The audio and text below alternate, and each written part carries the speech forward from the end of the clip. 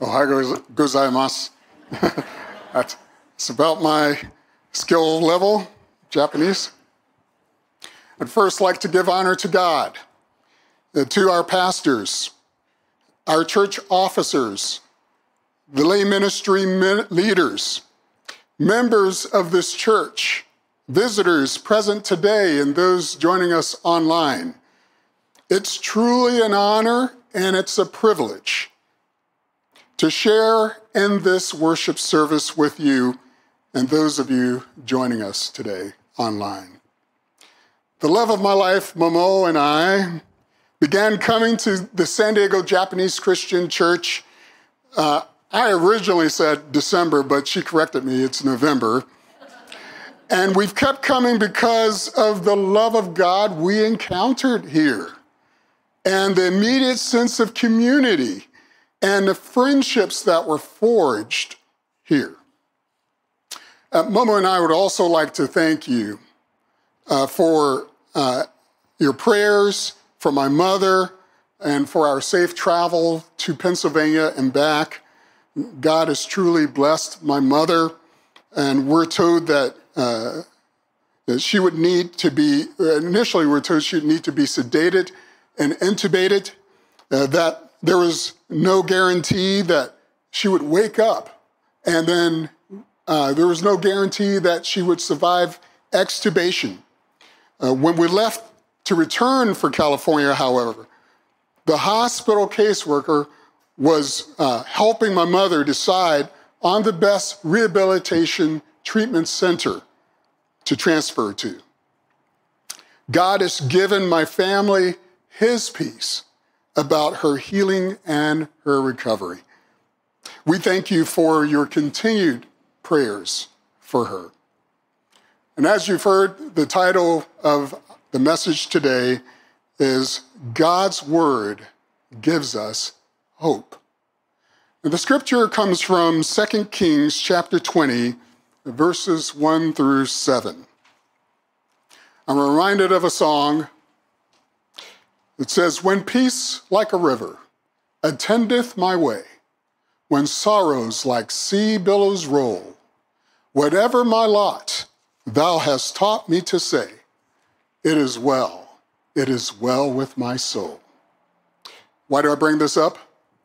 Well, because there are times when the natural progression of life's ills can surround us and lead us to a place of tears and grief, a time when people's well meaning words can amount to accept it and move on.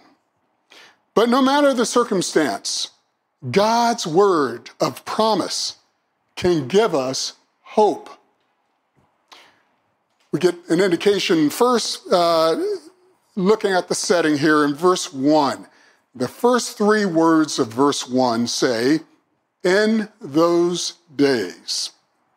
What days? Well, I'm glad you asked. We're going to look at uh, the scripture leading up to our text, uh, specifically in 18 and 19, chapters 18 and 19 of 2 Kings, that cover over a decade of history in those days.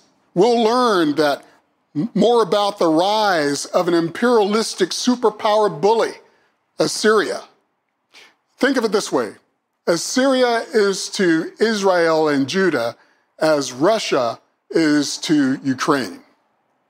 Assyria had besieged the northern kingdom of Israel in the fourth year of King Hezekiah's reign in the southern kingdom of Judah. And after a three year campaign, Assyria sacked Israel, deporting its population and taking its resources.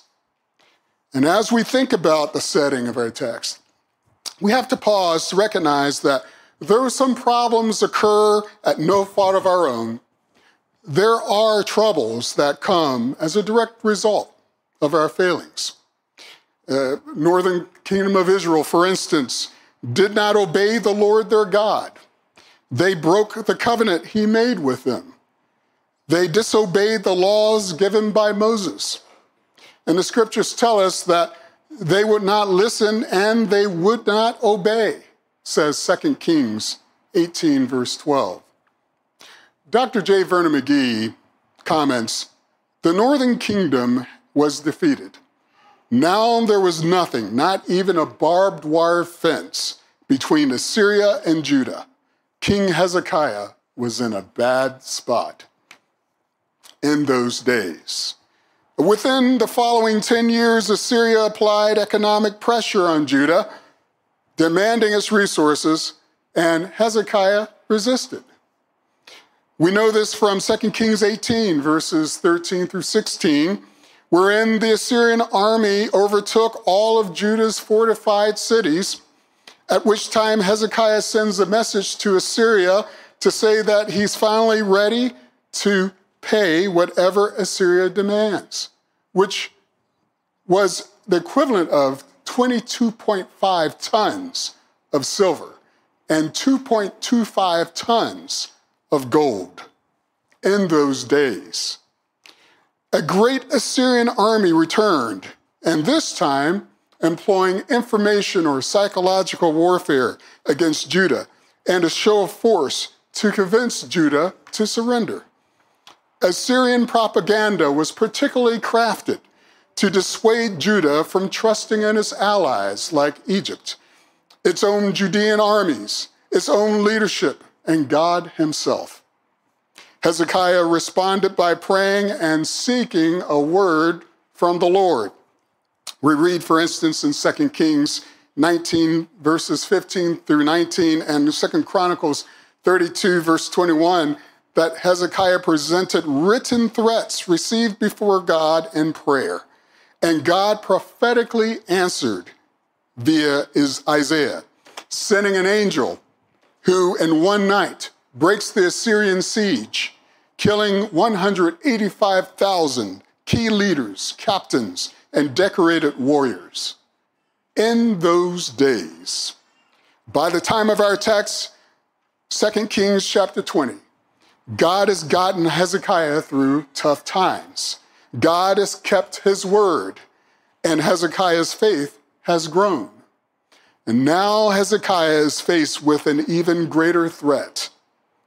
Let's take a closer look at, and see how a word from the Lord gave him hope and changed his life.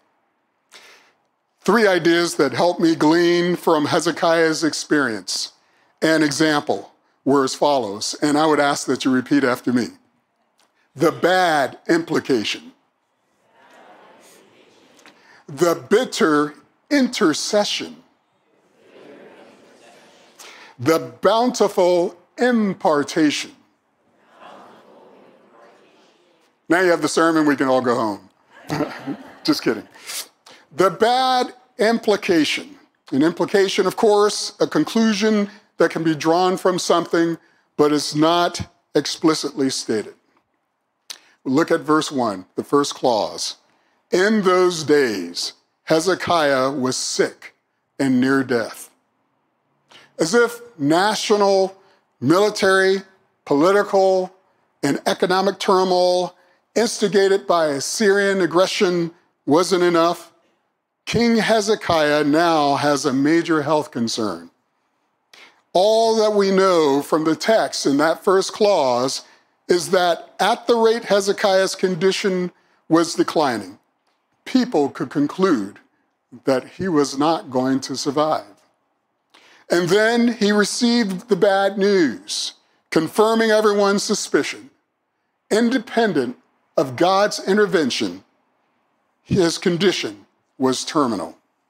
The rest of that verse says, And Isaiah the prophet, the son of Amos, went to him and said to him, Thus says the Lord, set your house in order, for you shall die and not live.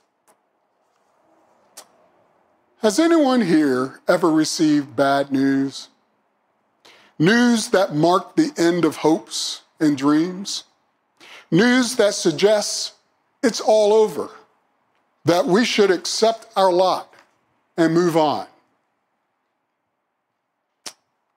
Hezekiah has just been given a poor prognosis based on an inflammatory and ulcerated sore condition we get it. We get that information or some of that from verse 7. A condition that has progressed to its final stage.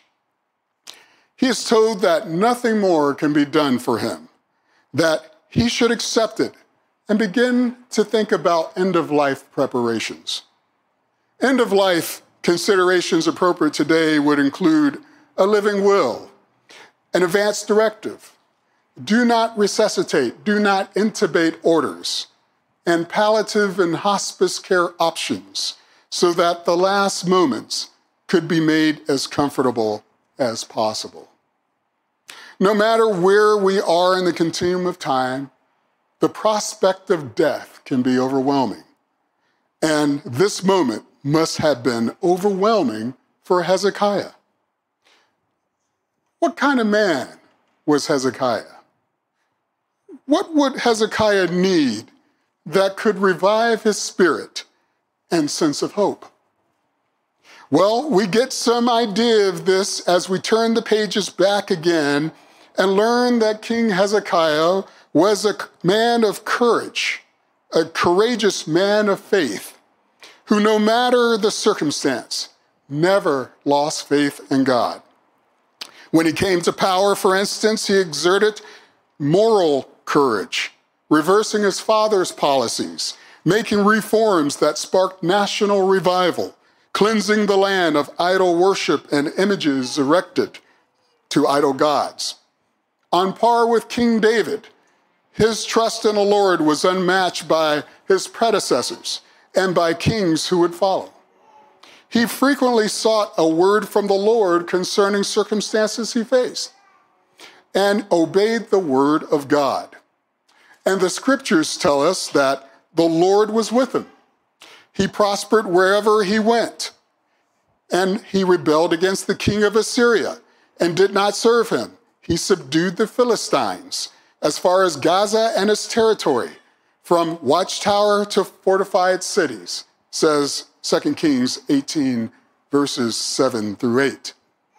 He exerted physical courage resisting Assyrian and Philistine aggression.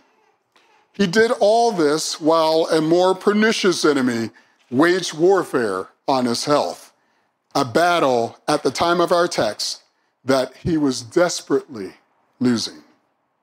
We will read that only one thing could help revive his spirit and give him hope a word from the Lord. To what or whom do you turn when trouble hits home? When the circumstances seem hopeless. And now we're at our second point the bitter intercession. To intercede is the act of asking or requesting to God for oneself or others. Let's look at verses 2 and 3. Then he turned his face toward the wall and prayed to the Lord, saying, Remember now, O Lord, I pray, how I've walked before you in truth and with a loyal heart, and have done what was good in your sight. And Hezekiah wept bitterly. Hezekiah had confidence in God. And when the chips were down, we don't read that he looked to people who surrounded him to help him self soothe. We don't read that he self medicated with any mind altering substance or drink. He did not turn to anything or to anyone but God in prayer. We can do the same, even if ours is a bitter intercession. We too can have confidence in a God who hears our prayers, sees our tears, perhaps tears that no one knows about, and have confidence in our God who can heal us, revive us, deliver us, defend us, no matter the circumstance. Doesn't his word say, Many are the afflictions of the righteous? but the Lord delivereth them out of them all. Psalm 34 19. And now we're at our third and final point the bountiful impartation. Importation is the act of granting or communicating of something held in store. God had something in store for Hezekiah, and it was given to him only after he asked for it. Let's look at verses four through six. And it happened before Isaiah had gone out into the middle court that the word of the Lord came to him, saying, Return and tell Hezekiah, the leader of my people, Thus says the Lord, the God of David your father, I have heard your prayer, I have seen your tears. Surely I will heal you. On the third day you shall go up to the house of the Lord, and I will add to your days 15 years. I will deliver you and this city from the hand of the king of Assyria, and I will defend this city for my own sake and for the sake of my servant David. God is able to do exceeding abundantly above all that we ask or think, says Ephesians 3:20. This spoken word of God was exactly what Hezekiah needed and more than what he could ask or think. Hezekiah prayed about his life, and God answered by sending him a word granting him healing, added years of life, and addressed national security concerns. And God does not always heal the same way every time. Sometimes God heals by ending people's suffering, ushering them into heaven. Sometimes God heals suddenly and directly. We call those miracles. This is all miraculous. Other times, God's healing happens over varying periods of time. And for Hezekiah, God heals him over several days and through the best of modern Middle Eastern medicine uh, at that time. We get that hint from verse 7, which says, Then Isaiah said, Take a lump of figs. So they took and laid it on the boil, and he recovered.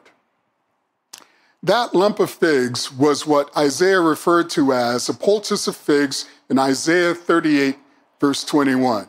And that is a soft, moist mass of material, uh, typically a plant material or flour, applied to the body to relieve soreness and inflammation, and kept in place with a cloth.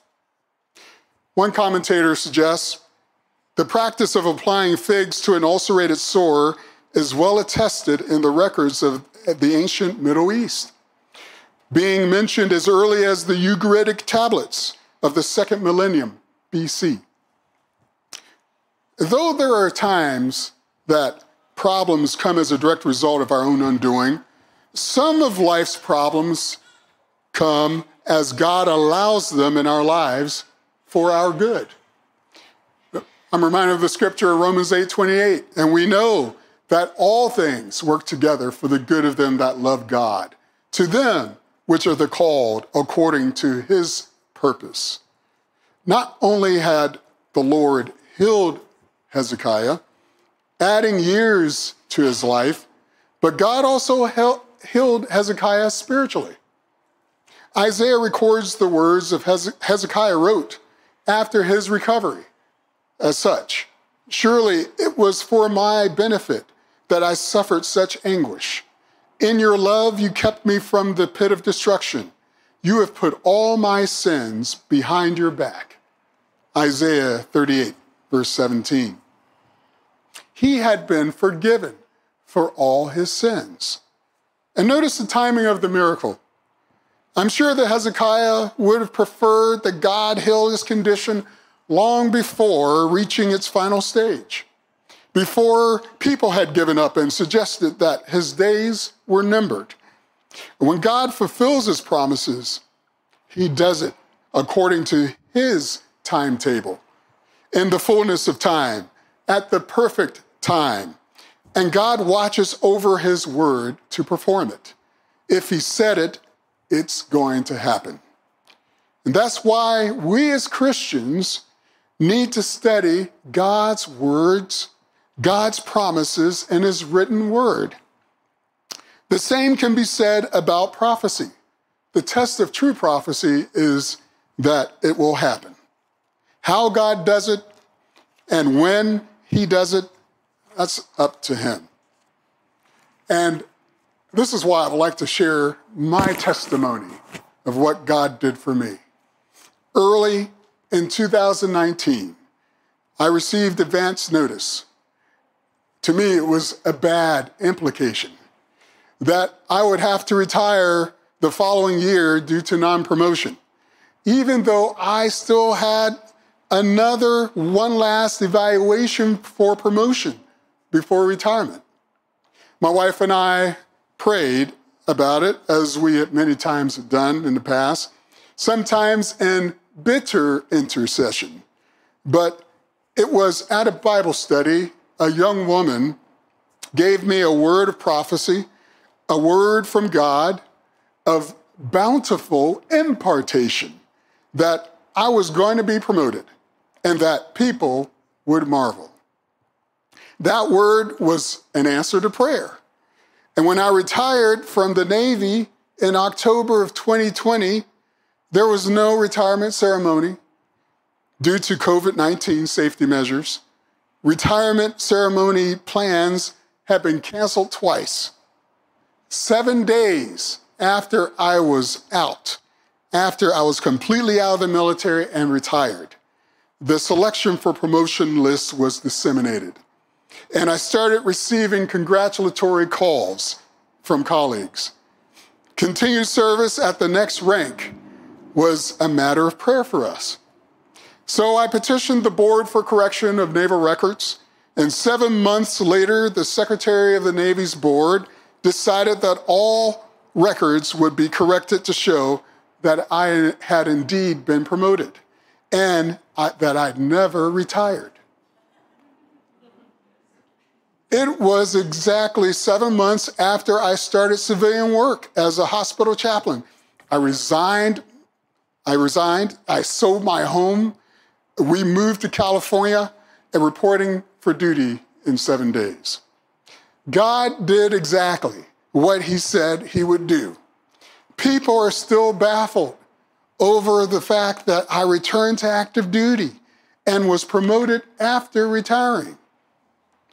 That the way that I was promoted, the years added onto ministry in the Navy were done in such a way that only God could get the glory. God can reverse what others have said is too late. God can heal and deliver what has been proclaimed dead. When God says live, there's no force that can change that. His word overrules what people say. God restored my Navy career after it was all over. I think of Vera, my sister, youngest sister, had stage three pancreatic cancer and reoccurring pancreatitis. Vera cried out to God, asking that he spare her life. My mother told Vera, God said, You will live and not die. And I read somewhere that the Whipple procedure that she underwent, wherein the head of the pancreas, the first part of the small intestine, the gallbladder, and the bile duct are, uh, are removed, has a 25% survival rate. Uh, not only did Vera fully recover, but she did not need radiation treatment or chemotherapy. The word she received gave her hope. When God says live, there's no force that can change that. His word overrules whatever people say. There are times that God chooses to intervene by healing us emotionally, giving us His peace that can get us through the worst of circumstances. And for example, the writer of the hymn, It Is Well With My Soul, Horatio Spafford, God gave him his peace despite tragic losses. Horatio Spafford some of you may know his story. A devout Christian and Presbyterian layman and businessman originally from Troy, New York, and living in Chicago. Had a very successful legal practice specializing in international law and worked as a professor of medical jurisprudence at Lind University and trustee and benefactor at what is now McCormick Theological Seminary. This Sunday school teacher's closest friends were evangelists like the famous Dwight L. Moody, also from Chicago. At no fault of his own, this man's faith would suffer some of the worst types of loss. First, his son died. Shortly thereafter, there was the October 1871 Great Chicago Fire, wherein he lost all of his real estate investments along the Lake Michigan shoreline and his law office, all overnight. In November of 1873, he had planned on joining his wife and four daughters on a European vacation trip. But at the last minute, a real estate sale of some of his fire damaged property delayed him after his family embarked upon their transatlantic journey aboard the luxurious ship, the SS Ville Havre. On 22 November, the SS Ville Havre was struck by a Scottish ship, Loch Earn, causing a 12 foot hole in the SS Ville Havre's hull. Some passengers died upon impact, but within 12 minutes, his four daughters were lost, ages 11, 9, 5, and 2. And on his way to Cardiff, Wales to join his wife where 86 other survivors landed, he reportedly penned the words of the poem, later to be published as a hymn It is well with my soul. In closing, not only does God hear our prayers and sees our tears, but his word can bring about healing, regeneration when people tell us it's all over. Deliver us, protect us as we put our trust in God and in his word. In fact, God's word promises eternal life to anyone who will believe on Jesus Christ, the Word made flesh, as Savior and Lord. Paul writes, But what does it say? The Word is near you, and in your mouth and in your heart. That is the word of faith which we preach. That if you confess with your mouth the Lord Jesus and believe in your heart that God has raised him from the dead, you will be saved. For with the heart one believes unto righteousness, and with the mouth confession is made unto salvation. Let us pray. Father, in Jesus' name, we thank you for your word that encourages us to know that your word gives us hope. There may be someone among us who may be looking for hope and hasn't found it. And they've heard the scripture that their hope could be in God, that they can know the love of God for themselves, that all they need, would need to do is confess you as their Lord and Savior, believing in their heart that you raised Christ from the dead. And by that, they can be saved. Lord, we pray for that person or those persons now, here or online, that you save them today. Lord, we're lifting up before you any among us who, after uh, we're, we're Christians already, but Lord, we may be uh, experiencing some difficulties in life. Lord, we're asking that your word will come alive in our hearts today. May we grab on to the hope that we know is in God. In Jesus' name we pray. Amen.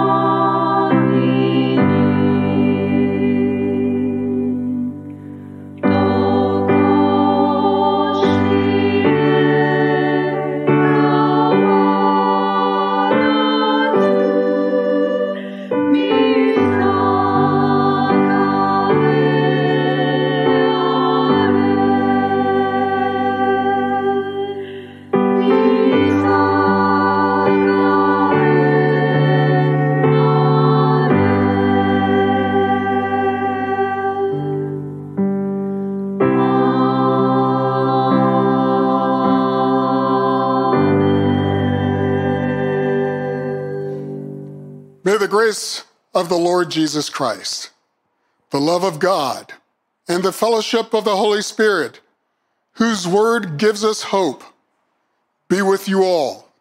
In Jesus' name, amen.